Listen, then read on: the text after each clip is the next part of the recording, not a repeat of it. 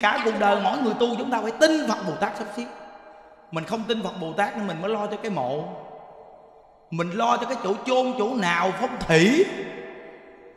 Rồi mình phải để tiền lại để mà chết rồi để cúng dường trái tăng làm cái này cái kia. Nếu như quý vị tin phật bồ tát thì khi còn sống làm hết trơn. Vì trong kinh địa tạng, phật giảng nói một câu rằng, khi còn sống, làm công đức bảy phần hưởng được bảy phần tiền của mình để cho người ta làm khi mình chết, thì bảy phần mình hưởng được chỉ một hai phần mà nếu như người này làm đúng thì hưởng được có một hai phần. Tại vì sao? Lúc đó người ta làm hồi hướng cho mình, còn mình đã chết rồi, không phải mình làm. Nhưng nếu quý vị mà chưa siêu mà đưa tiền cho họ mà họ không làm đó, thì quý vị cũng làm ma nghiến răng. Hiểu chưa? Tức đứng bên cạnh họ mà nghiến răng vào gấu cắn họ nhưng làm gì được họ? Họ còn phước quý vị mới đụng được đâu. Khi con người mà hết phước quý vị mới đụng được họ. Nhớ đó. Nên từ nơi đó nguyên lý này phải hiểu. Hiểu được rồi sẽ biết gieo cái nhân khi còn sống. Hơn là khi chết.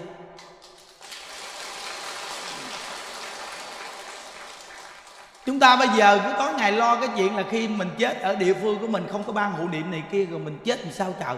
Vì không tin phật bồ tát sắp xếp mình. Quý vị chỉ cần gieo nhân, mỗi ngày bị siêng niệm phật cho tốt đi. Lạ thay, quý vị, cuối cuộc đời quý vị muốn đi đến đâu lợi chỗ đó đây.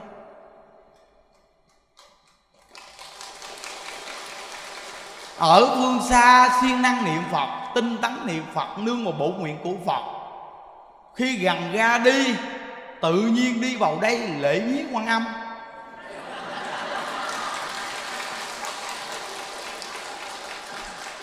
Chương trình lễ rồi mà còn ở lại một tuần. Thì tự nhiên trong cái tuần ở lại đó nó lại yếu yếu. Cái đưa vô vòng hộ niệm luôn. Rồi bắt đầu hộ niệm có một buổi. Rồi đi mất tiếng. Đó là do niệm phật mà bổ nguyện của phật đưa đi mình đi này hiểu chưa?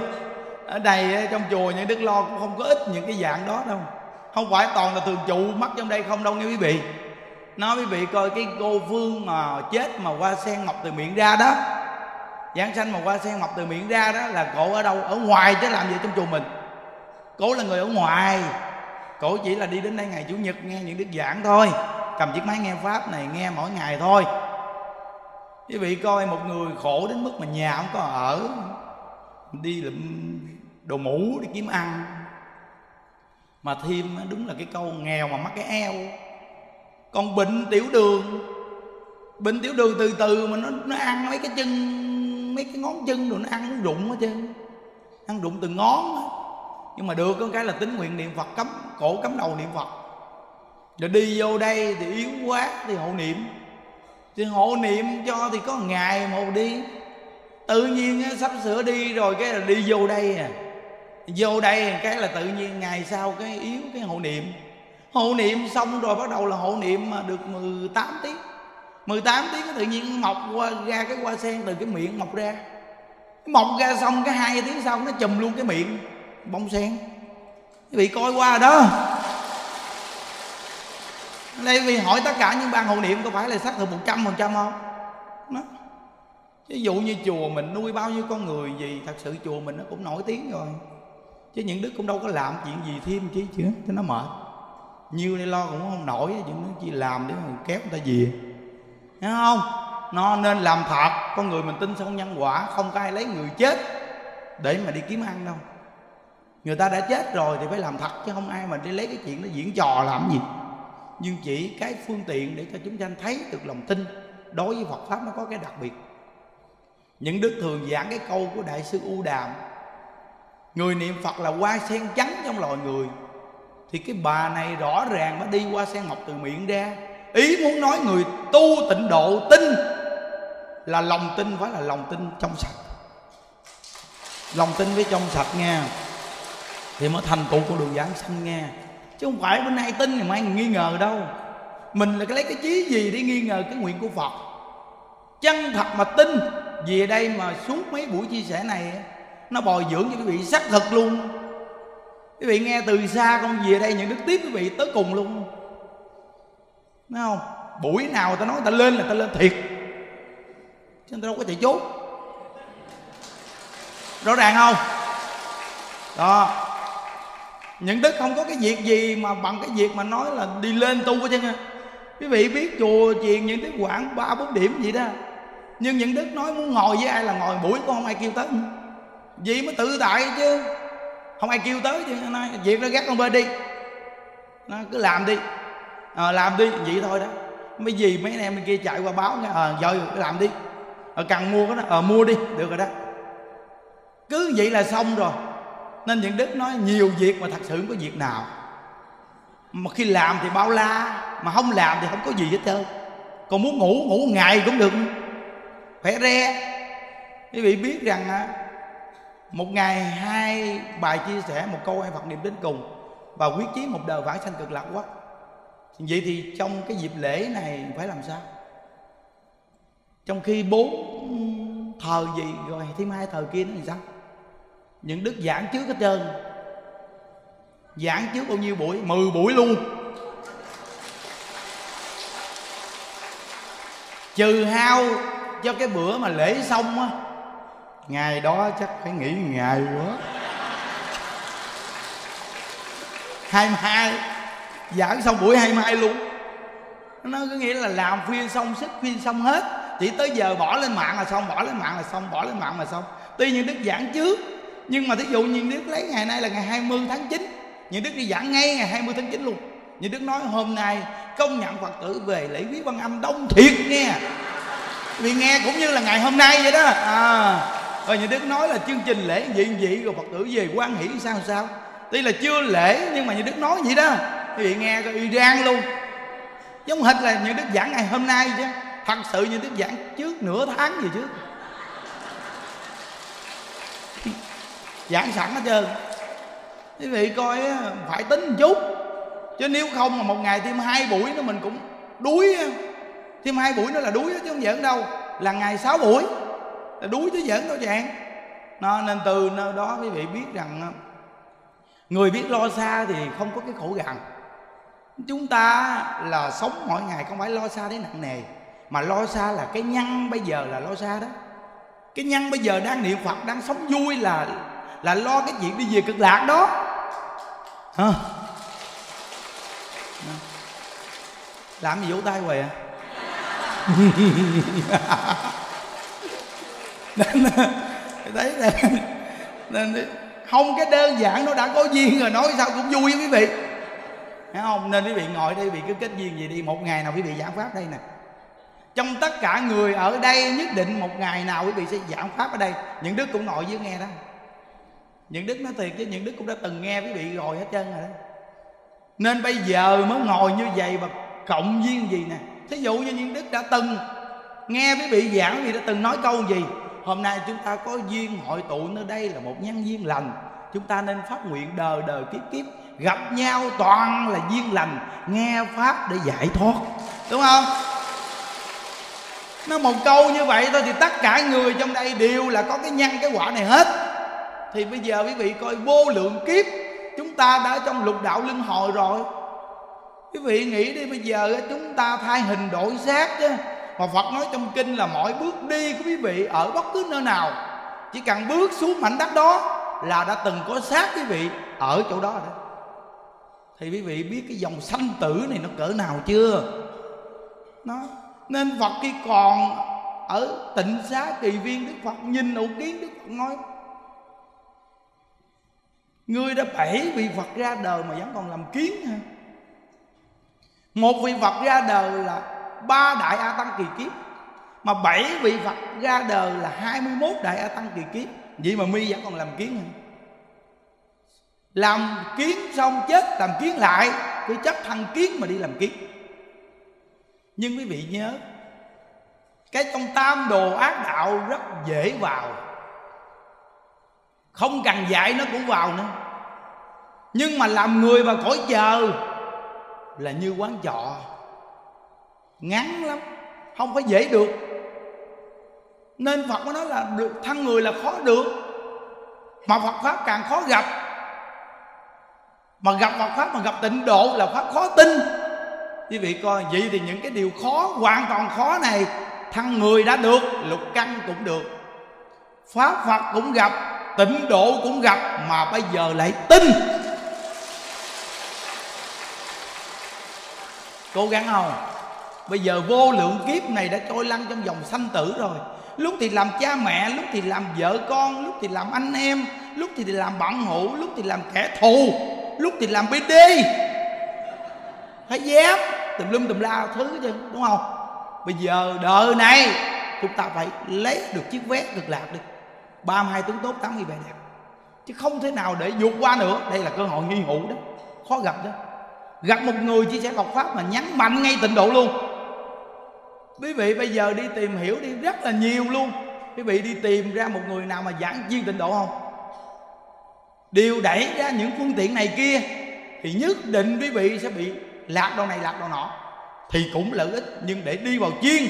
Bây giờ chúng ta nếu nhắm mục tiêu mà chiên thì nhất định nó vàng.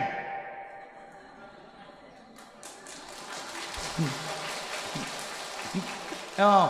Bây giờ quý vị chiên nấu cơm. Quý vị nhắm mục tiêu nấu nồi cơm này nhất định là chính.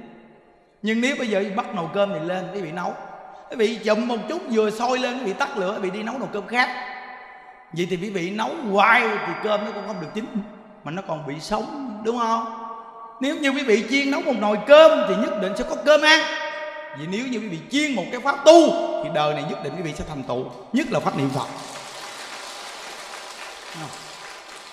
nên dù cho phá thai, bắt hiếu cha mẹ, sát sanh tạo nhiều nghiệp chướng, gặp pháp tịnh độ là gặp mùa rồi.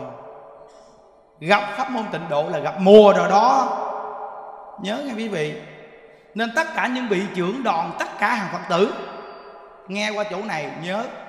Phải làm được cái việc có duyên được bao nhiêu người, khuyên bao nhiêu người niệm phật.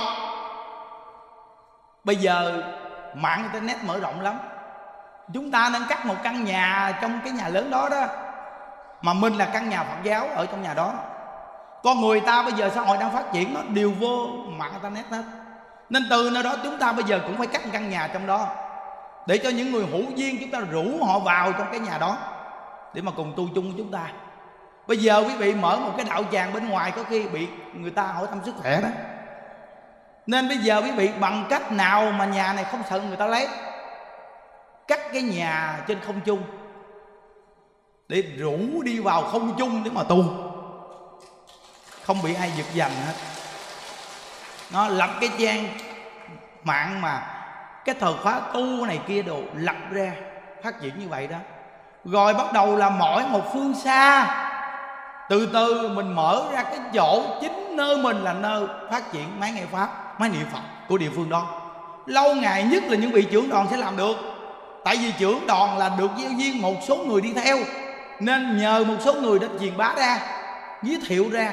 Chị đó chị đó, vậy đó. Ở nơi chị lúc nào cũng có máy nghe pháp, máy niệm phật. Lỡ đó mà đặt, rồi một truyền mười mười truyền trăm, lâu ngày mình trở thành một nơi mà để đem máy nghe pháp truyền bá. Thì cho địa phương đó từ từ nó mở rộng ra. Rồi mỗi một con người đi đến đây cộng tu đều làm việc này mở rộng ra. Mỗi một con người mở rộng ra từ từ, tịnh độ mở rộng, thiết rộng ra, bằng cách là nhờ nhiều đôi tay người làm, thì tịnh độ này mới đặc biệt. Bây giờ quý vị coi như chùa chúng ta trong dịp lễ này, chúng ta đã phát triển được một ngàn bộ tượng phật, trong gia đình người ta được một ngàn nhà.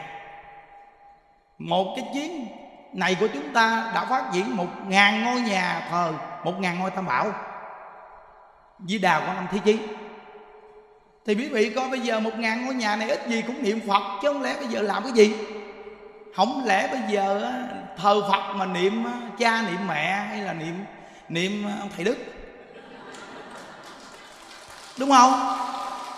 Thì niệm ai với đạo phật chứ niệm cái gì? Phải không? Nhưng mà niệm ai với đạo phật thì niệm luôn thầy, niệm luôn cha mẹ, là niệm từ bi. Nên từ nơi đó mà trong cái gia đình của mình có ngôi tam bảo là tuyệt vời lắm. Một ngàn bộ tượng hình như là sạch nhất rồi bây giờ còn tượng ờ, thạch cao người ta đem lại cúng. Thì một số người người ta thỉnh. Rồi sách vở, liệu phàm tứ quấn. Quý vị quý vị không? Cách nay 3 năm về trước, những đứa ta nhìn ra. Nhìn ra là chính bản thân mình luôn.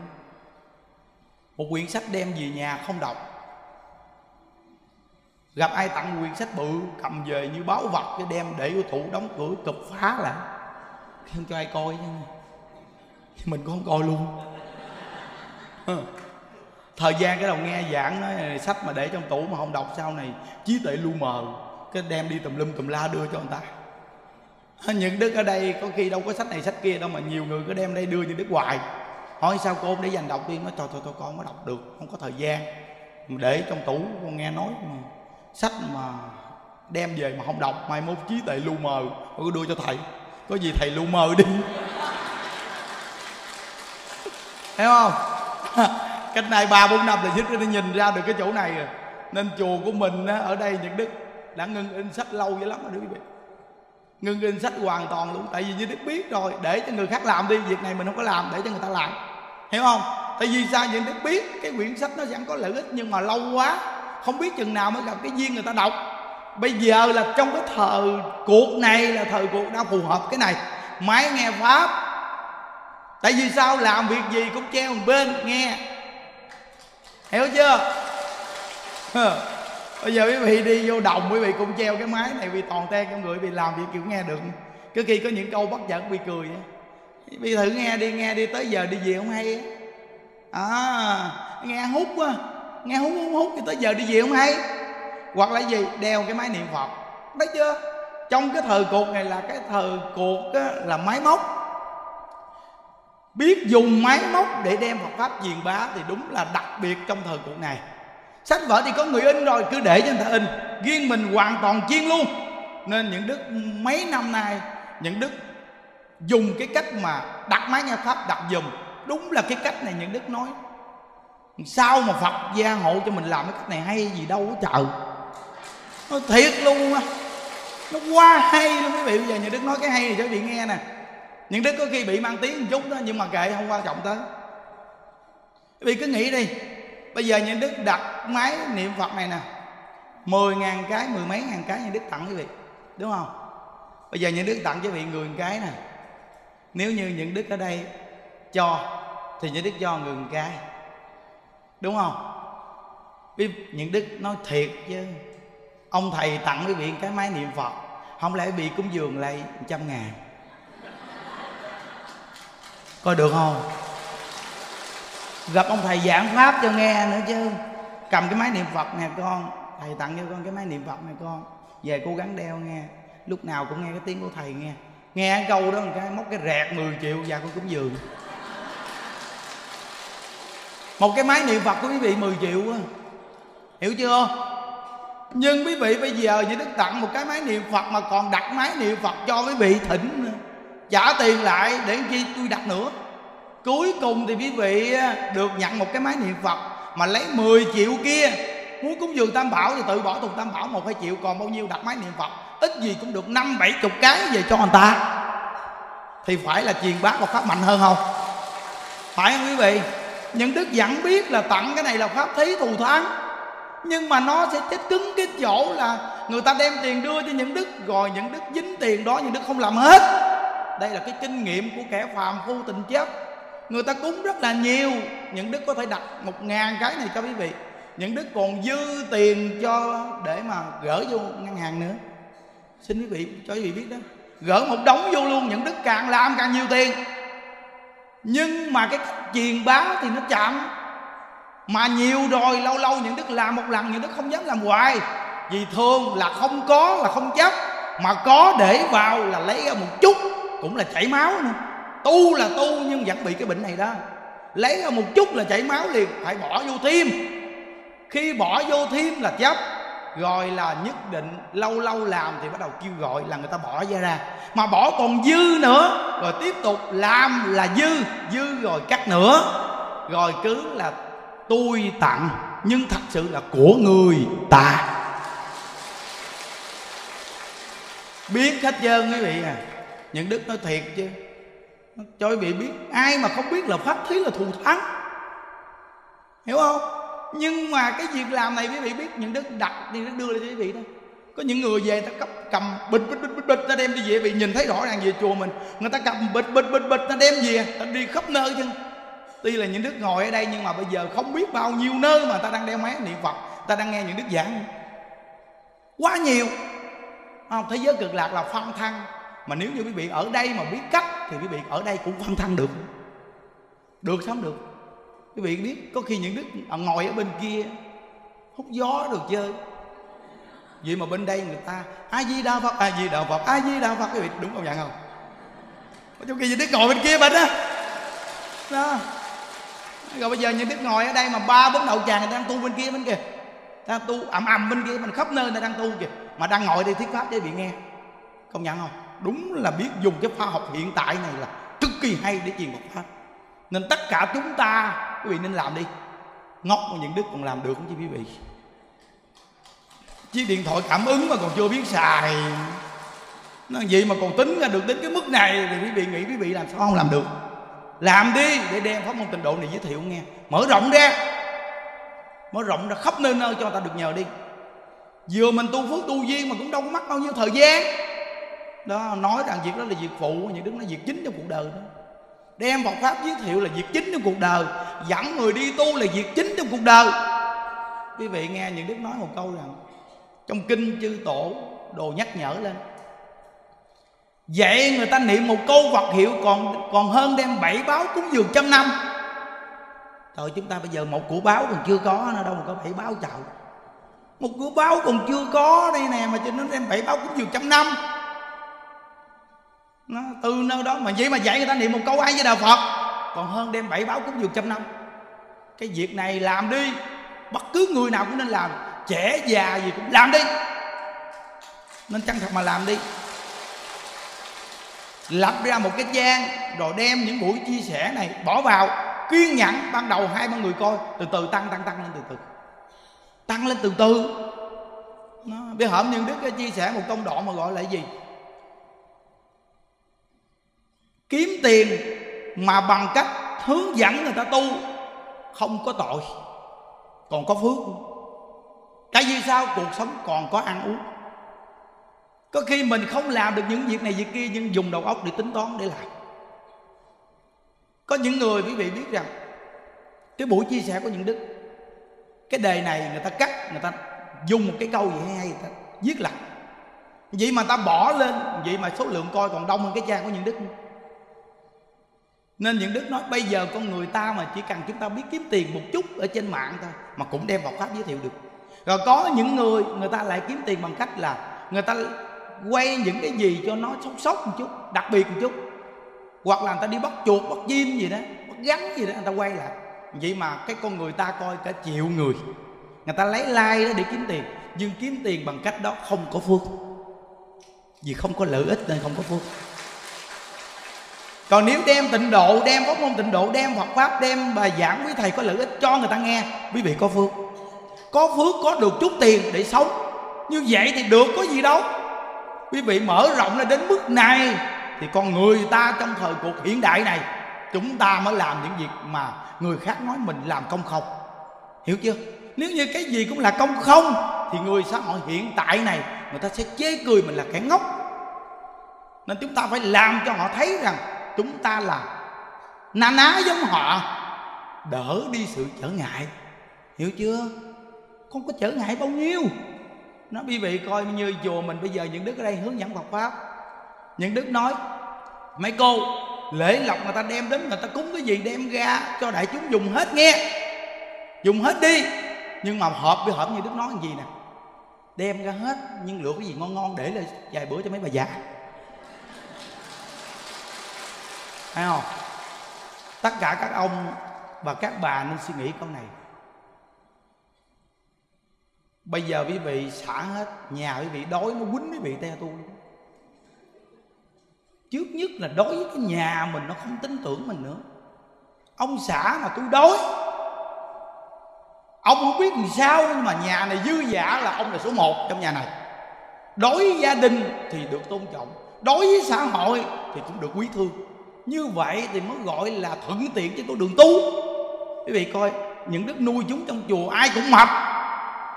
Nếu như những đức nuôi mà ốm nhôm sơ sát, nghèo nàn mà đem cho người ta ăn hết trơn, vậy thì chúng trong chùa là nó dùng cái thứ, nó cái thứ cái thứ nó nó lấy lòng bên ngoài để nó kiếm tiền.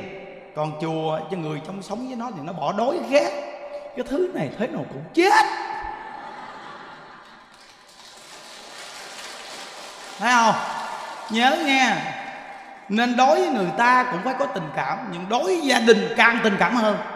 Tại vì gia đình mình là sống với mình mà.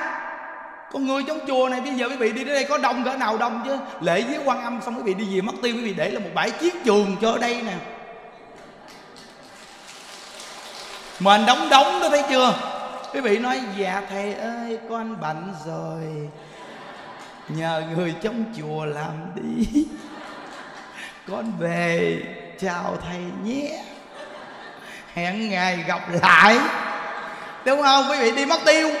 Còn ở đây một bãi chiến trường mình gói dọn, dẹp đủ chuyện. Rồi xung quanh rác đóng đóng ở bên môi trường người ta đến người ta tìm những đức nữa kìa. Mấy ngày nay môi trường người ta tìm, người ta nói làm cái gì mà trong chùa rác nhiều thế? Thì coi đó thấy khó chưa? Nói à, thôi mấy anh mấy anh à, không cảm lễ lộc này kia đồ Đúng không? Mấy anh cố gắng đổ dùm đi rồi qua lễ có cái gì chúng ta cũng gặp nhau để ăn kẹo bánh một chút. Hiểu chưa? Quý vị biết rằng à, cuộc sống con người ai cũng ăn. Chúng ta có ăn cũng phải chia cho người ta ăn. Nên con người thông minh á một cái bánh to còn mình phải biết vị trí nào là cái của đoạn mình. Và phải biết chia cho người ta từng khúc nhỏ, khúc nào, nhưng mình phải là chủ trương cắt bánh. Không? Chủ trương cắt bánh. Hiểu chưa? Nếu như quý vị ôm xô một cái bánh này, coi chừng nó ói ra mà chết. Nên người tham là thâm vốn liếng đó nghe chưa? Muốn làm ăn phát triển thì phải cho tất cả những người nhỏ nhỏ kia được nhờ muốn cho nó đừng có phá hoại hoàn cảnh của mình, công ty xí nghiệp của mình, thì phải đối với nhân viên từ người bảo vệ giữa nhà vệ sinh thấp nhất cũng phải cho họ được sự lợi ích công bằng đối với công sức của họ. Thì họ sẽ bảo vệ công ty xí nghiệp của mình sẽ thịnh vượng lâu dài. Người như vậy mới thật sự người có chí và có đức. Quý vị coi lễ lọc 4 ngày người ta đưa lên tư tưởng tất cả các vị trí chùa làm việc cực lực luôn, chưa gì hết, người ta đã nêu lên. Thì con người ai mà chúng ta là phàm phu mà phải có cái quả tương đối, hiểu chưa? Nhưng đức nói rằng mấy anh em cố gắng đi, qua lễ, đi tắm biệt đúng chưa? Vậy nghĩ chưa? Bây giờ cực lực này kia, còn mấy cô thì chủ nhật được nghỉ. Mấy chú đi tắm biển về, mấy ổng phải nấu ăn. Còn cho mấy đứa trẻ được nghỉ hai ngày. Thấy không? Rồi mình dành thời gian, mình mua đồ ăn, đồ uống, mình ngồi chung với mấy chị. Mình nói chuyện cho mấy chị cười vui. Vậy thì quý vị thấy không? Người ta sẽ quan hỷ vô cùng khi làm việc không thấy mệt. Còn bây giờ quý vị cứ bắt người ta làm không mà thấy, làm có công thì có quả, có công thì có quả, mà quả từ nào có? Nó chán, trước nhất là nó chán rồi đó, hiểu chưa? Thì phải cho người ta chút quả gì đi, để người ta tạo cái công này cho nó thù thắng hiểu không quý vị trong cái cuộc đời này học Phật quý vị biết đa dạng tư tưởng. Nếu mà nói ra để quý vị học thì quá tuyệt vời. Để áp dụng trong tất cả cái cái lối sống của quý vị mà được tuyệt vời luôn á. À, nên trong gia đình của mình cái đặc biệt đừng bao giờ mình keo quá đối với gia đình của mình. Hiểu không? Có khi bị rộng rãi một chút mà nó còn không phá. Còn quý vị keo nó phá còn ác đạn hơn. Keo với nó nó phá đó. Đói quá mà nó đi kiếm ăn. Thì cho nó no rồi đâu có đi kiếm chi cho nó mệt hiểu không? Nên từ nơi đó con người phải hiểu nguyên lý này. Thì đến với con người với con người với nhau phải hiểu.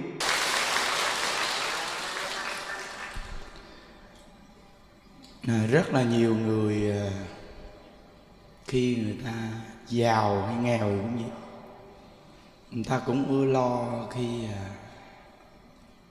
mình chết à, chôn chỗ nào. Hoặc là người ta mua cái mộ phần rất nhiều tiền nhiều tiền lắm. Khi số tiền đó có thể làm bao nhiêu việc thiện việc tốt. Rồi họ chuẩn bị ờ, nhiều thứ trong cái cuộc đời của họ, khi già, bệnh, rồi khi chết ờ, chôn ở đâu ở đâu, làm việc gì gì. Ừ, tất cả những việc này nó đều không bằng khi mình còn sống. Mình gieo nhân thiện, nhân tốt. Phải nhớ con người đang sống bình thường gì? Chúng ta nghe Phật pháp không để, không phải là để mình tiêu cực, mình nghĩ đến cái chết, mà là mình nghe Phật pháp để mình sống tích cực trong cái cuộc đời này. Mình sống cho nó đặc biệt mới là hay. Mỗi ngày sống vui, sống tốt, sống làm thiện à, sống để niệm phật, tu hành. Đó là nhân mà để mình hướng đến cái quả báo là cảnh giới của chư phật bồ tát đây gọi là hướng thượng. Còn nếu như mà mỗi ngày mình hướng đến cái chết để chôn ở đâu ở đâu, nằm ở đâu, hoặc là chôn ngay chỗ đó là ngay mộ phần ông bà, trở về nơi ông bà, hoặc là chôn cái nơi mà gần chồng hay gần vợ, gần gia đình, cái nghĩ này là cái nghĩ lục đạo luân hồi, mà nó cũng không được đến cái cõi người và cõi giờ nó phần nhiều là đi vào ba đạo hoặc là ma cô hồn, vất vơ vất vưởng và có những người người thân mình chết rồi, mình cứ nghĩ ngợi tới người thân mình hoài. Bằng đêm cái ngủ nằm mộng thấy người thân. Đại lão là tụng tình không khi còn đại thế ngày nói rằng, cả mình thấy cảnh giới thiện mà còn phải quên đi. Không chi là mình thấy những cảnh giới người đã chết. Người chết nhiều năm mà mình còn thấy người ta. Mình thấy người thân mình chết nhiều năm mà mình còn thấy họ. Vậy thì cảnh giới đó là cảnh giới gì? Quỷ đạo. Người chết rồi nhiều năm mà còn về báo ổng này kia cho người thân là cảnh giới quỷ đạo. Khi gặp những cảnh giới đó, cứ cố gắng niệm phật cho qua đi. Đừng có nghĩ ngợi tới nữa. Còn nếu như cứ nghĩ ngợi tới là khi cặn tới nghiệp là mình dính chắc. Cặn tới nghiệp là quý vị bám vào ngay điểm nào thì thì họ sẽ, ngay điểm đó xuất hiện để lôi vị đi nên có những người khi à, còn sống gì tuổi già mù mờ cái gì cũng quên. Nhưng lạ tai họ lại nhớ chồng hay nhớ ông bà nhớ cha mẹ. Họ lại nói rằng ờ, người đó người đó trước mặt tôi kìa. Ờ, người đó gì kìa. Họ kêu tên người đó họ nói người đó. Khi cận tử nghiệp gần chết nó nói ờ, ba mày kìa ông đến ông ông đến ông thăm tao kìa ông đứng ngoài kìa kêu ông vô đi. Hoặc là ông nội ông ngoại gì của mày kìa. Tại sao kêu ông nội ông ngoại vô đi con? Cứ là nói khơ khơ khơ vậy thì quý vị biết rằng cảnh giới của quỷ đạo xuất hiện. Hiện ra cái cảnh mà quý vị thích. Quý vị thích chỗ nào họ hiện ra chỗ đó. Để họ dẫn quý vị vào cái quỷ đạo. Từ nơi đó cái tâm ái nhiễm nó nguy hiểm vậy lắm. Nên cái người tu đạo của chúng ta chỉ là gieo cái nhân còn sống tu hành niệm phật cầu sanh cực lạc thôi. Cái tâm này phải cho cực kỳ mạnh. Nên tổ sư nói rằng tất cả việc thiện, việc tốt mỗi ngày chúng ta làm, không bao giờ cầu hưởng cái bình an ở cõi này. Không có cầu nhiều tiền, nhiều bạc, giàu sang, danh tiếng gì ở cõi này. Mà chỉ có cầu sanh cực lạc thôi. Chỉ cần gây dựng được cái tâm cầu sanh cực lạc cho cực kỳ mạnh, thì tất cả những việc ở thế gian này tự nhiên đầy đủ. Mà bình an, vui vẻ đầy đủ, cuộc sống đặc biệt nữa nên mình là người học Phật, nó không phải đi vào cái chuyện tiêu cực là mình nghĩ nó chết. Mà mình nghĩ chừng nào thỏa mãn đến thì mình đi về thế giới của Phật. Nghĩ vậy thôi còn khi mình mà chết rồi thì người ta muốn làm sao đó là chuyện của người ta. Chỉ cần mình gieo cái nhân tốt thì cái quả là mình tốt mình gieo cái nhân niệm phật thì cái quả cuối đời người ta niệm phật cho mình. Còn mình gieo cái nhân mà mình tùm lum tùm la thì người ta tùm lum tùm la cho mình. Cả cư sĩ hay xuất gia gì cũng vậy.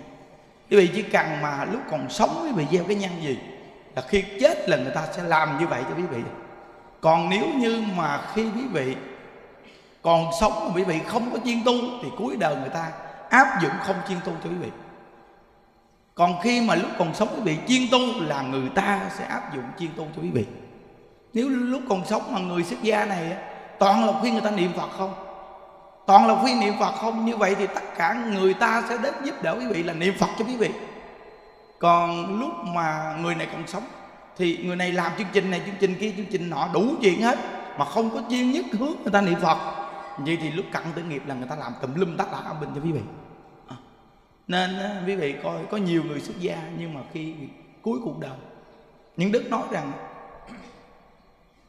theo cái góc độ mình nhìn, thì họ còn không bằng cái dàn cư sĩ mấy bà cụ già ở chùa. Mấy bà cụ già trong chùa lúc còn sống ở chuyên niệm phật ti bà mới gặp phật pháp. Nhưng mà cái hậu cuối đời của người ta là đi sâu vào ngay tịnh độ luôn còn cái người này mấy chục năm, nhưng mà cuộc đời của họ là lang thang. Tứ tung hết chứ á, không có chuyên tu. Nên khi cuối cuộc đời của họ, mất đi là đệ tử của họ, áp dụng cho họ bằng cách nào? Là nghi lễ. Làm nghi lễ không à? Nó nghĩa là từng đòn từng đòn đến một cái đọc bài nghi lễ. Còn có những người chết mà ta còn càng chống nữa nghe. Có nghĩa là một phái đòn đến, bắt đầu là ta thổi một cái cái đoạn nhạc buồn.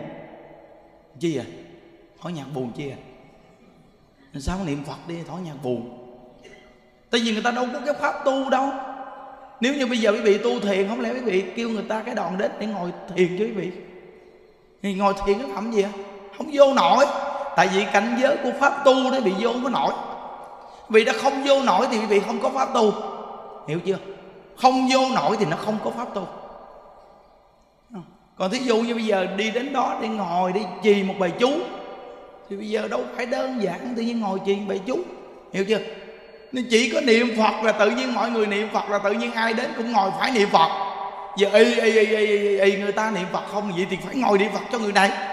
Bạn bè thân thiết hay người xa lạ gì đến thăm đến giếng là tức khắc lỡ là phải ngồi niệm phật.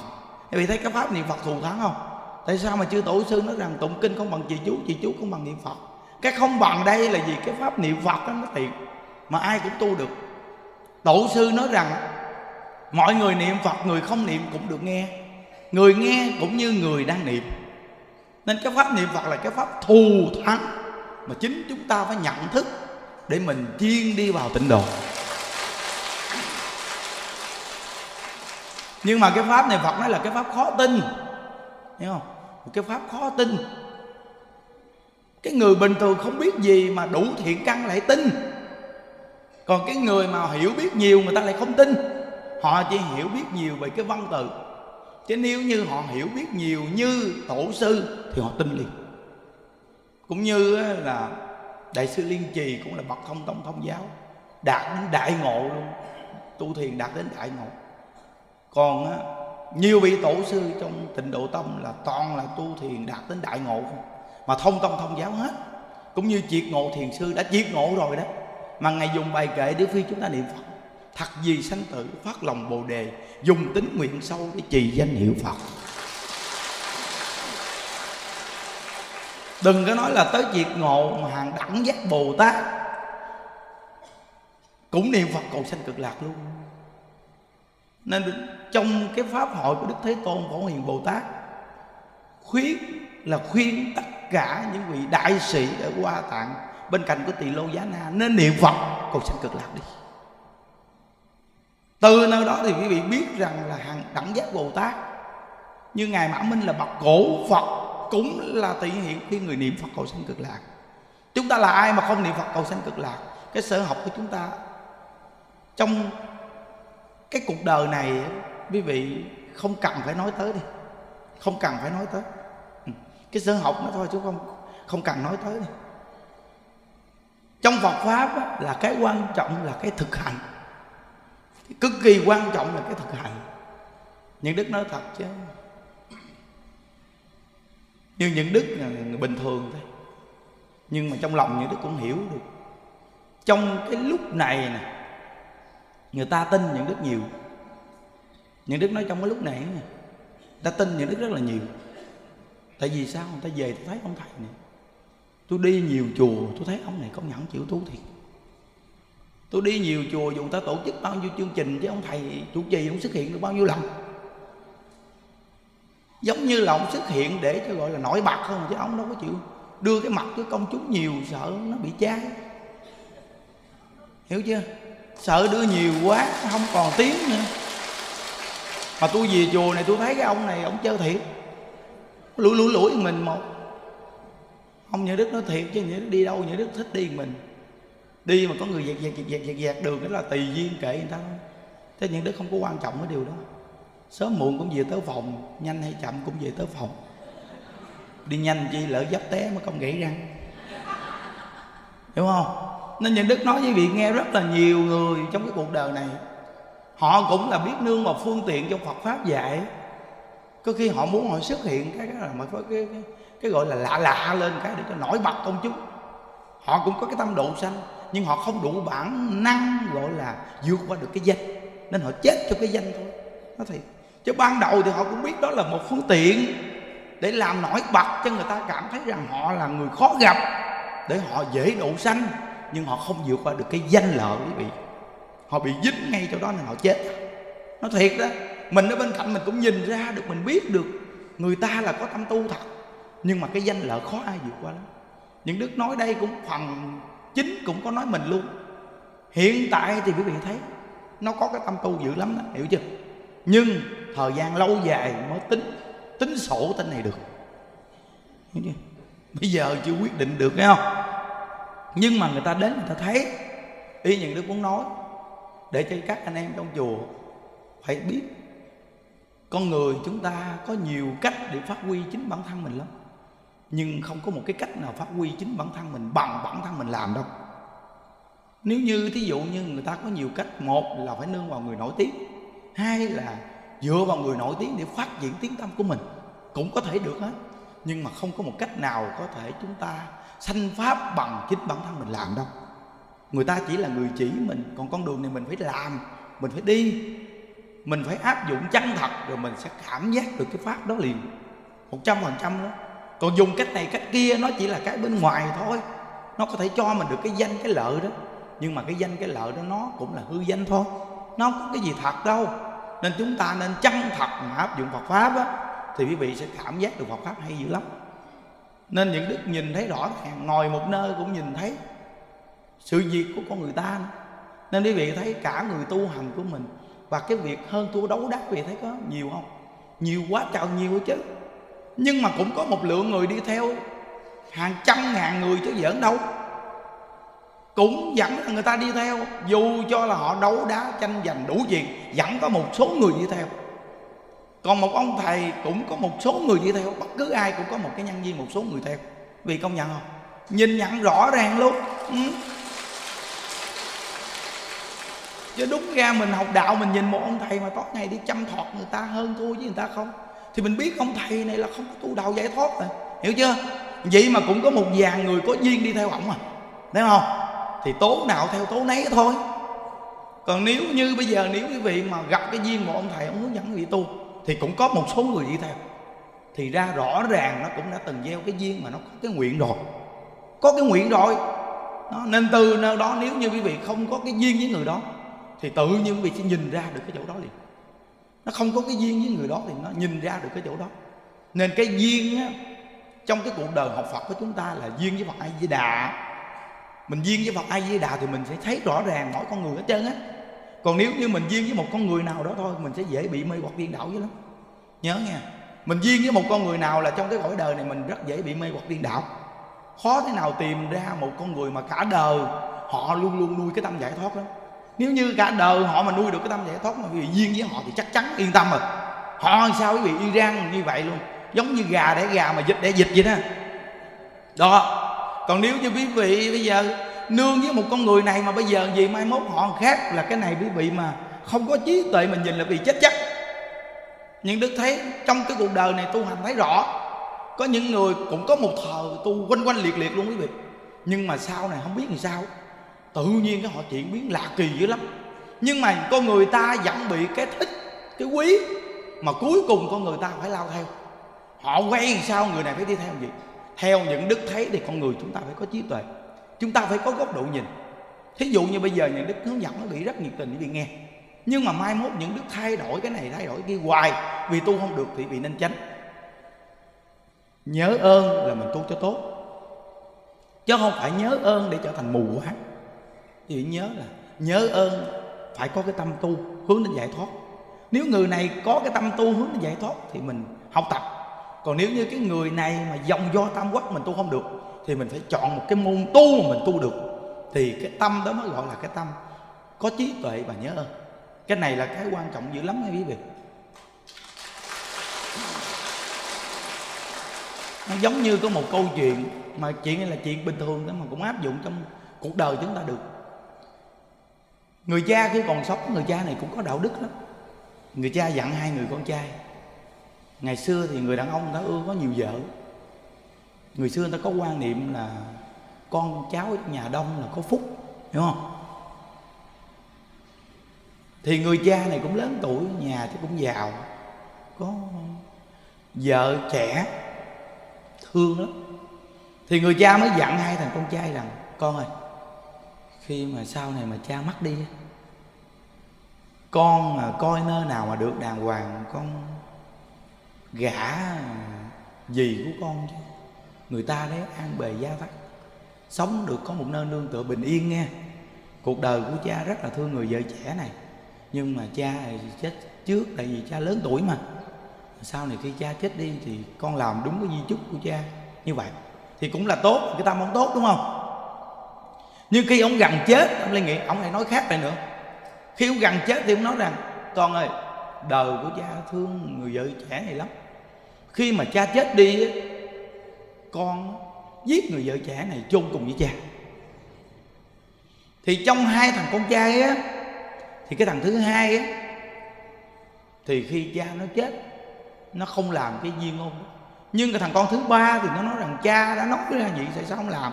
Đúng như lời di chúc của cha.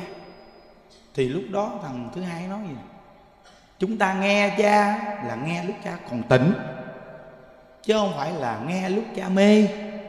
Nếu như cha mê mà mày nghe theo, thì mày cũng là kẻ mê sao? Không phải là hiếu đâu em à. Mình phải nghe cha lúc cha tỉnh. Cha lúc tỉnh táo, cha đã duyên ngôn vậy rồi, nghe cái lúc ban đầu. Nên chúng ta đó là nghe đức thích ca mâu ni chỉ niệm phật. Chúng ta đã tin rồi. Đức phật chỉ nói đúng một lời thôi là khuyên niệm phật thì chỉ có một lời là khuyên niệm phật thôi. Đức phật không có nói hai lời.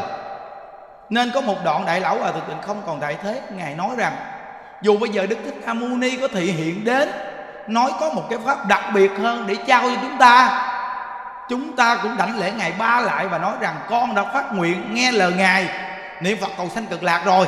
Xin ngài để cho con tròn tâm nguyện của con. Tu tịnh độ là phải tin đến mức như vậy. Còn cái này quý vị nghe thì nghe gì gặp ai thì cũng nghe, gặp ai thì cũng dao động tâm thì khỏi cần nói về lòng tin nữa. Quý vị là người dễ dao động tâm, có làm sao niệm phật giảng sanh? Nếu như những đức cũng như vậy thì mười mấy năm nay đi tu cũng là kẻ long nhau.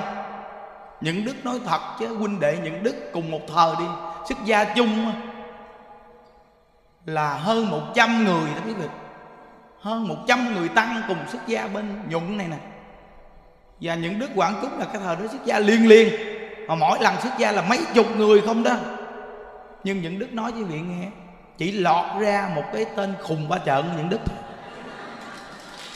nó thiệt á. Bây giờ quý vị đi coi tất cả những cái cái nhóm nhuận mà mà một thời như đức gia tỉnh tất quan âm đi. Nhiều người học rất là giỏi luôn nhưng mà nói thiệt tình mà nói những đức ti ít gần thầy chứ. Nhưng mà những đức lại làm cái việc của thầy ngày xưa. Làm cái việc của thầy ngày xưa, những đức không có cái tính mà làm việc này được quý vị. Ngộ nghe quý vị. Những đức đi tu.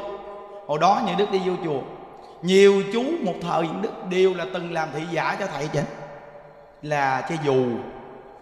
Rồi bưng cơm bưng nước, đúng không? Nhưng riêng có mình cái mặt những đức là thầy mới kêu.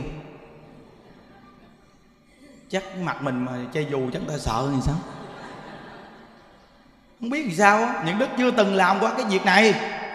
Mà bị kêu những đức làm việc này những đức làm cũng không có được. Những đức không có làm được cái chuyện che dù và đứng bên hầu. Cái này là những đức nói thiệt những đức không có làm được đó. Ừ. nên những đức đã gieo cái nhăn đó thì cũng không có ai làm việc này cho những đức đâu tại vì sao? Vì những đức có làm được điều này. Con người những đức có thể ngồi nói chuyện, có thể tiếp xúc với con người, có thể làm việc này việc kia được. Nhưng mà kêu những đức làm những cái việc mà người ta đi đâu, người trên, đi đâu mà cầm dù che che che che là những đức không làm được. À không làm được. Chuyện này không làm được nha quý vị. Nên từ nơi đó quý vị biết rằng, tuy mình không có làm những việc gì đó với thầy, nhưng về cái nguyện và cái tâm của thầy mình muốn làm. Thí dụ như ở đây hòa thượng xây chùa rất là nhiều thì chùa xây lên để người ta tu. Để cho hội chúng ta về người ta tu thì đây mới tâm nguyện xây chùa. Chứ không lẽ vị xây ngôi chùa lên vị để ngôi chùa làm chùa ma? Hay chùa cho chim chóc? Hay là con này con kia ở? Chùa xây lên là để cho con người ta ở, hiểu không quý vị? Thì mới đi xây ngôi chùa. Thì mới gọi là của thập phương bá tính, người ta cúng về nó mới kết quả. Còn nếu xây là một ngôi chùa mà chùa vắng tanh như chùa bà đanh, vậy bị xây làm chi à? Vì nó đã không có duyên rồi, vì cắt cái cốc nhỏ, vì tu phước cho rồi đi. Mỗi ngày còn đỡ làm toi mọi cho cái nhà bự. Hiểu không? Những đức nói, nhà nhỏ khỏe của nhà nhỏ.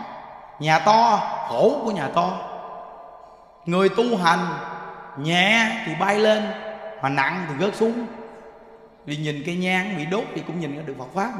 Phải khói nhang bay lên không? Còn tàn nhang phải rớt xuống không? Từ nơi đó, nếu có được cơn ngơ lớn thì phải có người ta về tu, thì mới tạo cơn ngơ lớn. Còn nếu như cơn ngơ lớn mà không ai tu, vậy tạo cơn ngơ lớn làm chi? Đi mất công vòng vòng sợ ma nữa. Một ngôi chùa mà to mà không có ai bị vô vì sợ ma đó, nó ngộ vậy đó, bị vô chánh điện mà to đùng mà không ai đi. Bị ở vô, ớn ớn ớn, lạnh lạnh, ớn, lạnh lạnh, đúng không? Nhất là cái nơi thờ linh mà khói nhang nghi ngút. Rồi hình ảnh tùm lum, bước vô cái mình nhìn đó sao lạnh quá trời lạnh. Đúng không? Nó còn bị ra phía sau này coi cái nơi này có lạnh đâu. Thờ linh phía sau nè. Nhưng mà do ngôi chùa tu nhiều quá nên cuối cùng đây nó cũng ấm áp luôn. Hiểu không? Khi ta nằm ta ngủ tùm lum có ai sợ gì đâu. Nhưng mà vô một ngôi chùa mà không tu lại bị thấy ớn ớn lạnh lạnh. Mà cái ớn ớn lạnh lạnh này là cái cảm giác của âm khí. Hiểu chưa? Nên, nên người ta mới nói là âm siêu thì dương lợi. Nên cái nơi chùa chiều xây lớn là để cho người ta tu đó là duyên nguyện của ông thầy, ông xây chùa để cho người ta tu. Nhưng mà ông này có cái duyên xây chùa mà không có duyên ngủ người ta tu. Thì bây giờ mình là người có duyên thì mình đắp vào cái chỗ trống đó. Thì mình làm cái nguyện của thầy. Thì tức khắc đây là cái tâm cảm ơn thầy và trả ơn cho thầy. Những đức đi đến tỉnh thất quan âm. Những đức thấy thầy dắt nhà nuôi người già. Những đức bây giờ phải nuôi người già không quý vị? Nói thiệt cái những đức bây giờ nuôi người già còn nhiều hơn thầy nữa đó là lấy nguyện của thầy làm nguyện của mình đó.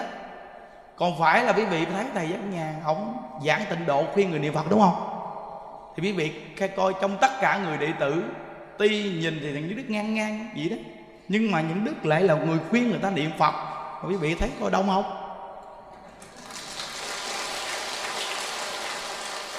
Nhiều người quý vị trở về đây, quý vị nhìn Iran ngày xưa tỉnh thất quan âm nữa. Nếu ai đã từng trở về đó quý vị sẽ biết, thờ hoàng kim nhất là cái thờ ngày xưa những đức trên đó. Quý vị nhìn bây giờ ở đây, y gan hình hình ảnh của ngày xưa ở trên đó vậy đó. Giống hệt luôn, như một căn nhà chung vậy đó. Thì từ nơi đó phải là lấy nguyện của thầy làm nguyện của mình không mà trong hạnh nguyện của phổ hiền bồ tát là hạnh nguyện gì? Y giáo tu hành cúng dường nếu như tất cả người đệ tử đều nhìn ra được cái việc cúng dường cho thầy mình là báo ơn thầy bằng cách là lợi ích cho chúng sanh, thì Phật pháp này không có si đâu quý vị ạ à.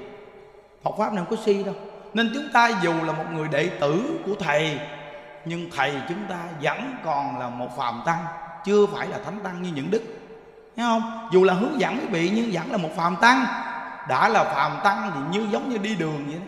có những lúc thì đường đi bằng, nhưng có những thì đường ổ gà, đường băng thì giống như lúc thì phát triển được cái cái trí giác.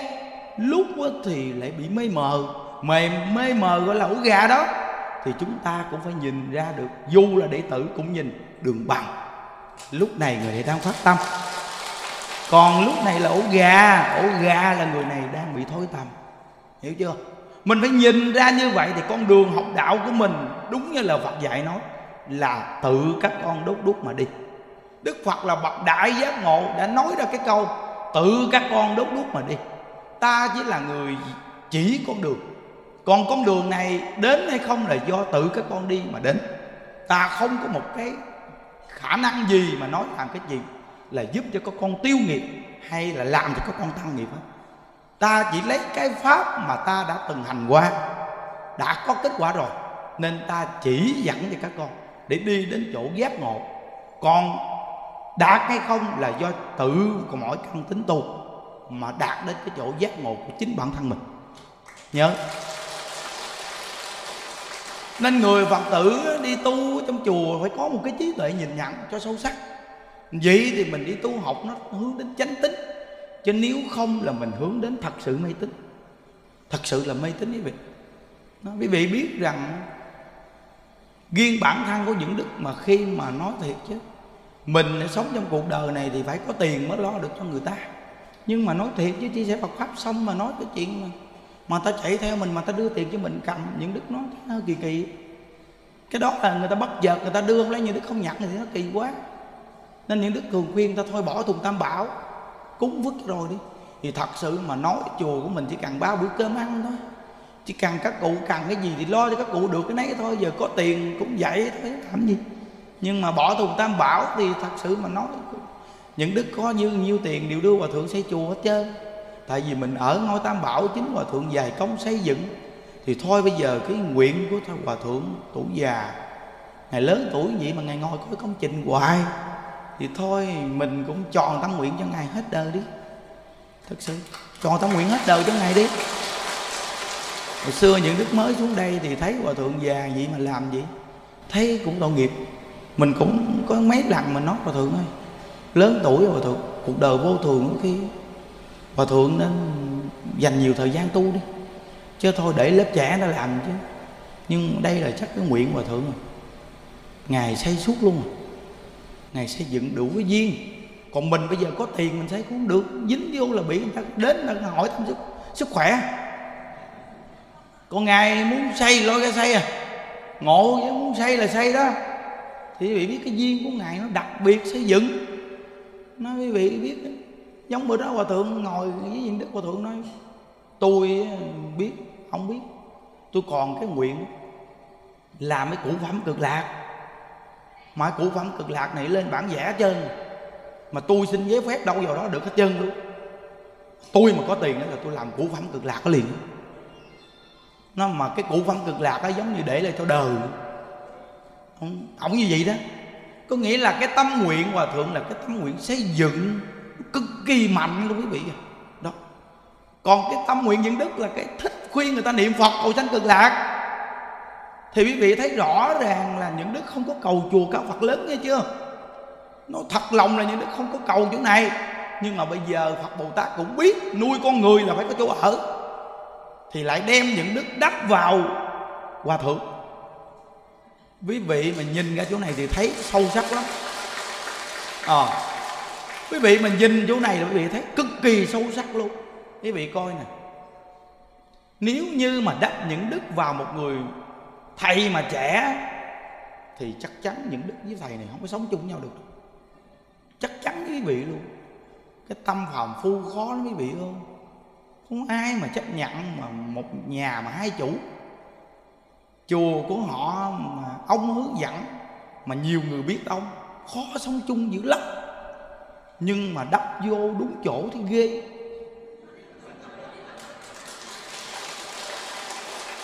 Rồi đúng không? Đắp vô ngay mà bị hòa thượng lớn tuổi già rồi. Thì cái quan niệm mình thường nghĩ, lép làm sao cũng được. Ngài sắp về cực lạc cơ thì mình cứ nghĩ như vậy. Còn nếu như bây giờ đắp vô cái ông 50 tuổi, mình 41 tuổi, thì bây giờ ông này 50 tuổi, thời gian còn lâu, mà ông này ông 50 tuổi là ông còn danh lợi đó. Thì bây giờ tên này cũng danh lợi, mà hai bên bên nào cũng danh lợi, sao sống chung? Phải quý vị? Bình tĩnh mà suy nghĩ đi nghe. Bình tĩnh mà suy nghĩ cái nguyện của phật bồ tát đi nghe. Không đơn giản đâu. Chỉ cần quý vị thật sự vì chúng sanh là sẽ đưa đẩy quý vị đi đến một cái nơi mà quý vị phù hợp để làm việc với chúng sanh. Phật Bồ Tát đều nhìn ra cái duyên và cái nguyện người này hết trơn. Nhìn ra hết, Nên sắp làm sao mà cho phù hợp nhất Để quý vị tiện bề độ sạch thấy rõ chưa? Thì thêm một cái nữa, quý vị coi là phải phải phải tin Phật Bồ Tát không? Phải cần tin Phật Bồ Tát không? Quý vị nghĩ đi, Hòa thượng lại không có giảng pháp. Hòa thượng không có giảng pháp bây giờ quý vị cứ coi hòa thượng mình mà ông giảng pháp chắc mình gụng chân quá. Bắt mình đứng không à. Hòa thượng giảng theo những cách mà trường học á, đứng mà để mà viết lên rồi giảng từng câu á như trường Phật học á. Thấy không? Đứng. Mình cũng phải đứng theo. Đứng một chút chân cẳng rung quá chứ sao nghe. Công nhận quý vị. Bây giờ những đức hỏi quý vị bây giờ quý vị đứng mà nghe đứng tiếng hồ nổi không? Chắc quý vị đi đến lần quý vị trốn nó tiêu luôn quá. Hiểu chưa? Thấy rõ ràng luôn. Đó, thì quý vị biết rằng cái người giảng pháp đó là cái người nhìn nhân duyên đặc biệt lắm. Người ta nhìn xuống là người ta biết công chúng cần nghe cái gì rồi. Đó là duyên á, hiểu chưa? Quý vị coi như đức ngồi chia sẻ Phật pháp quý vị nghe, quý vị nhìn nhận đi. Đâu phải là quý vị đi đến đây nghe có một buổi đâu. Từ thời mà thầy ở trên kia là những đức biết một chương trình lễ người ta về ảo ảo mà cả ngày đó là người ta phải tu không à? Chỉ có chiều thầy lên. Chiều thầy lên một cái nhưng mà nó kinh khủng lắm. Chiều thầy xuất hiện một cái là giống như quý vị, mà giống như mà quý vị khát nước đến mức mà quý vị chạy lại vì giật nước bị uống như thế hiểu không? Còn như những đức qua thì quý vị thấy bình thường lắm. Tại vì sao? Vì bị vị được uống lay rai hoài à. Hiểu chưa? Tôi cũng không thích quý vị coi tôi là nước mà cần phải uống liền. Tại vì sao? Nguy hiểm lắm nó vẫn có cái tác dụng phụ nguy hiểm. Tôi vẫn biết những điều cần làm cái gì cái gì tôi biết hết. Tại vì tôi gần được những người nổi tiếng, tôi gần được những người thâm niên. Tôi kinh nghiệm rồi. Tôi phải làm cái gì đó để cảm thấy đỡ tác dụng phụ. Riêng tôi đang bình yên, tôi thường nói những sự việc khi không bình yên. Để làm chi? Khi không bình yên, tôi hạ cánh an toàn. Nên quý vị biết rằng những điều những đức chia sẻ ở đây để quý vị áp dụng trong cái cuộc sống và đem hạnh nguyện bồ tát phật để mà áp dụng trong cuộc sống để chúng ta tu học cho nó được đặc biệt. Và chúc quý vị an lạc nha. Ai di đà phật. Nguyện à, đem à, công à, đức này hướng về không tất cả đệ tử và chúng sanh. Sanh về tịnh độ. Nam mô a di đà phật. Nam mô a di đà phật. Nam mô a di đà phật à, quý vị về chùa mình quý vị để ý thấy à, chùa của mình à, khi những đức cúng không có đọc tên à, cầu an cầu siêu gì riêng ai để ý à. Tại như đức tin vào cái chỗ khi à, chúng ta hồi hướng chung nó thù thắng hơn nhiều. Ở đây có những người ta cũng gặp những đức ta cũng cúng dường tiền á ta đưa tấm giấy những đức đọc cầu siêu dùng nhưng những đức đều trả lời thẳng với họ cô đừng có đọc riêng tại đây không phải mình cô cúng đâu. Nhiều người cúng. Nếu như những đức đọc riêng mình cô là cô tổn sạch nhách tại mỗi người ta nói một câu gì nè. Chắc là đưa tiền nhiều lắm nên đọc quá. Mày không có tiền mà dễ gì đọc hiểu không? Người mà nói một câu vậy thôi thì bị sạch luôn. Những đức cũng tiêu luôn. Ta mất lòng tin. Hiểu không? Nên từ nơi đó mà chúng ta hồi hướng chung là thù thắng gọi là bình đẳng thế giới cực đạt, lạc là thế giới mà bình đẳng chánh giác. Nên gọi là bình đẳng. Từ nơi đó một quốc độ cực lạc bình đẳng. Chúng ta đây niệm phật cầu sanh cực lạc là ít gì cũng có một chút bình đẳng. Nên khi hồi hướng là hồi hướng chung hết trơn. Quý vị nhớ nè, chúng ta tạo phước không ai biết vẫn có. Chúng ta tạo tội không ai biết vẫn có. Mỗi một người chúng ta, quý vị phải nhớ là hai bên vai có hai ông thần một ông thần ghi phước, một ông thần ghi tội quý vị ở bất cứ chỗ nào, quý vị chỉ cần làm tội là ông thần ghi tội ghi liền. Còn quý vị ở bất cứ nơi nào làm phước thì có ông thần ghi phước ghi liền. Quý vị đi đến chùa này nè, bây giờ quý vị thí dụ như mắc tiểu quá mắc tiểu, chạy vô cái gốc cây nào nhìn giáo giác coi có ai không, tiểu một cái. Nhưng cái ông thần ghi tội ông ghi, mày tiểu ở chùa. Hiểu chưa? Rồi quý vị đi chỗ nào bị nhổ nước miếng tầm bậy tầm bạ đi nhổ nước miếng cái khèo một cái tưởng đâu không ai thấy, đúng không? Nhưng mà ông thằng ghi tội, ông ghi, mày nhổ nước miếng trong ngôi tam bảo. Đó. Vì tất cả những cái hành động gì quý vị đang làm, từ tâm tự xem lại, thì quý vị biết ông thằng ghi tội, ông sẽ ghi. Còn quý vị làm một cái điều việc gì từ cái tâm vừa khởi lên tốt thôi, thì ông thằng ghi phước, ông ghi là con vừa nghĩ tốt. Ông ghi liền. Từ nơi đó thì chúng ta về đây phải hiểu là chùa mình tại sao không ghi cầu an cầu siêu? Là vì quý vị tự tu sẽ có liền. Chắc chắn luôn hay không? Còn nếu không á, là ta đi đến đây người ta ghi sớ sớ vậy đó. Để đóng đóng đóng. Rồi cuối cùng ghi cũng bỏ vô cúng giường chút. Nhưng mà giấy ghi đóng đóng tên ông bà ông cố nội ông cố sơn cố sờ cố sợ. Ông cốc ông gì đó tùm lum ghi ra. Ghi ra rồi bây giờ những đức đâu có đọc xong những đức đem đưa vô trong kia những đức để tùm lum trong kia mang tội tên của ông bà cha mẹ anh ta mà mình không đọc. Mà mình đem mình vứt tùm lum thì mình có tội là không tôn trọng tên tổ tiên và làm tổn hại đến giấy chữ. Nên từ nơi đó nhà đức mới làm là gì đó quý vị. Riêng chùa mình nghe còn nơi khác ta làm đó là chuyện tốt của người ta. Còn riêng bản thân mình đây là gì? Nói cho quý vị hiểu. Để vì giờ đây cố gắng tu thì gieo nhân sao thì được hưởng quả vậy nghe à, chúng ta bắt đầu à, à, cúng thiết thực và phóng sanh à, đem toàn thể cái công đức à, mình tu này à, cầu an trên là đại lão và thượng viện chủ vì ngài xây chùa cho chúng ta có nơi nương tựa. Và cầu an cho toàn thể đại chúng và gia quyến của quý vị và phật tử khắp nơi nơi. Chúng ta được hưởng cái phước báo nhân duyên này mà bồ đề tâm kiên cố niệm phật cả đời để mà cuối cuộc đời chúng ta đều hẹn gặp ở tây phương cực lạc. Và chúng ta nguyện đem công đức này hồi hướng cho cụ quyền thất tổ ông bà cha mẹ anh chị em trong đời này hay nhiều đời nhiều kiếp và hương linh thai nhi. Tiền nghiệp phá thai chiến sĩ thận vong đồng bào tử nạn thập nhị loại cô hồn ngạ quỷ hà sa hữu vị vô danh hữu danh vô vị. Và tất cả những người chết quan chết ức hay tất cả những người chưa hương linh mà chưa siêu thoát đi theo những người mà đi về đây tu đi đến đây rất là đông. Quý vị về đây quý vị cũng được thừa hưởng công đức à, nguyện à, tam bảo gia hộ cho quý vị linh thức được sáng suốt nương vào bổn nguyện niệm phật để cầu sanh cực lạc. Và về đây chúng ta tu hành à, nghe pháp và được niệm phật và được hồi hướng và được cúng lý thực. À, quý vị nên hộ trì tam bảo. Dù những người ở đây có những người tạo cái nghiệp chướng gì với mình mình theo mình chờ cơ hội mình đòi nợ. Nhưng khi họ đã phát tâm họ tu rồi thì thôi chúng ta để cho họ tu mình hộ trì cho họ tu. Và họ lễ bồ tát quán thế âm ở đây á đừng có xô họ hoặc là đừng có làm cho họ đau chân đau cẳng nhức đầu nhức mình để cho họ khỏe đi để họ tu xong họ, hướng cho mình. Vậy thì ai cũng được ngon lành hết trơn nha. Mấy ngày nay cái đùi những đứa cũng đau quá.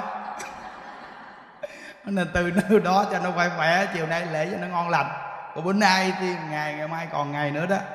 Nên từ như đó mà cho những đức khỏe khỏe đi những đức hứng lên những đức thuyết pháp cho nó vui chứ gặp mà nó đau rồi nó săn si lên, nó chửi um sùm rồi chết.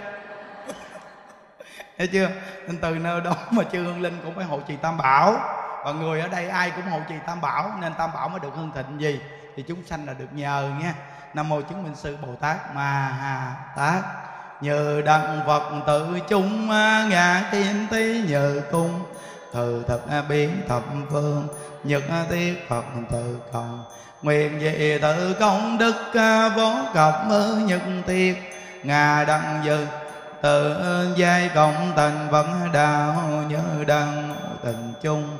Ngã kim tý như cung từ thực biến thập phương nhật tiết hồ tình cộng. Nguyện về tự công đức à, vô cập nhật tiệt.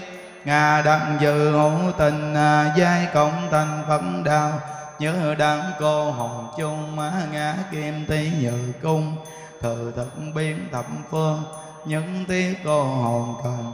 Nguyện dị tự công đức à, vô cập nhân tiết ngà đặng giữ cô hồn giai cộng tình phẩm đạo án một lụng lăng ta bà án một lụng lăng ta bà.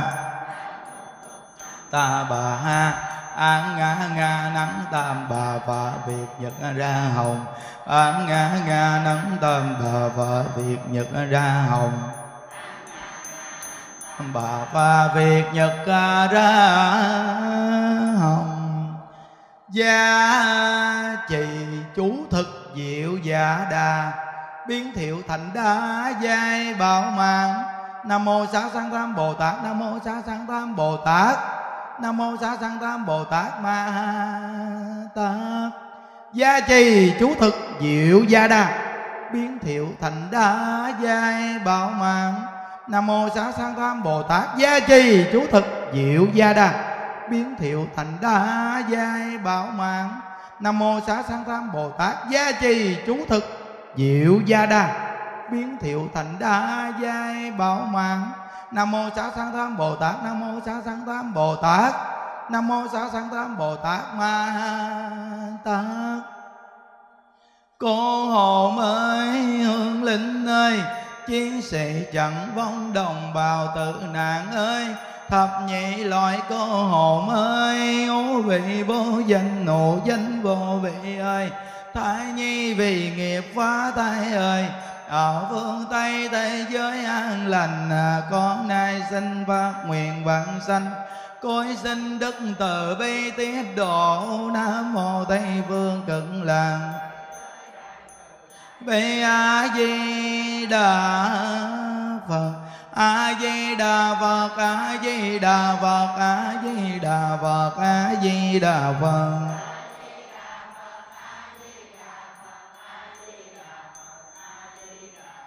A di đà phật a di đà phật a di đà phật a di đà phật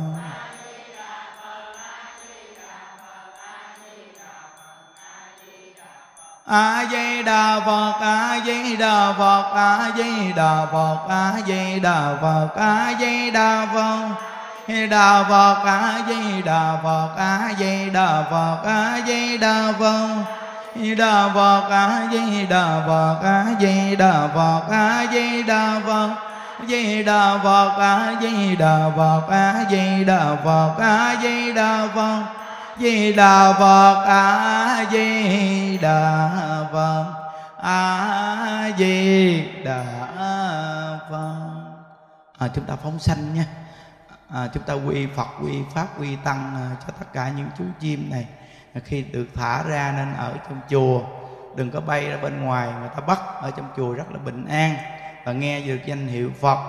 Và khi bỏ báo thân này thì hướng về thế giới cực lạc đừng có quay lại làm thân súc sanh rất là khổ.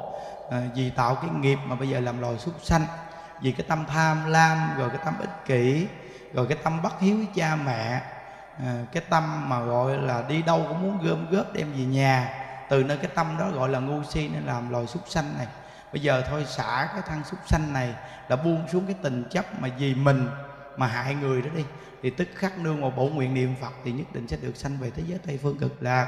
Quy phật không đọa địa ngục, quy pháp không đọa ngạ quỷ, quy tăng không đọa vàng sanh, quy phật không đọa địa ngục, quy pháp không đọa ngạ quỷ, quy tăng không đọa vàng sanh, quy phật không đọa địa ngục, quy pháp không đọa ngạ quỷ quy tăng không đội bàn xanh à, chúng ta đồng niệm phật lớn lên vỗ tay vui vẻ quan hỷ thả chim nha. A di đà phật a di đà phật a di đà phật a di đà phật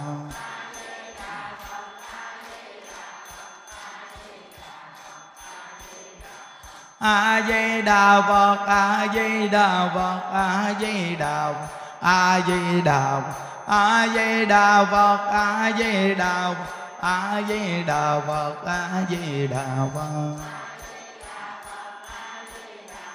a di đà phật a di đà a di đà phật a di đà phật a di đà phật a di đà a di đà phật a di đà phật a di đà a di đà phật đà phật a di đà phật a di đà phật nguyện đem công đức này hướng về công tất cả đệ tử và chúng sanh đồng sanh về tịnh độ.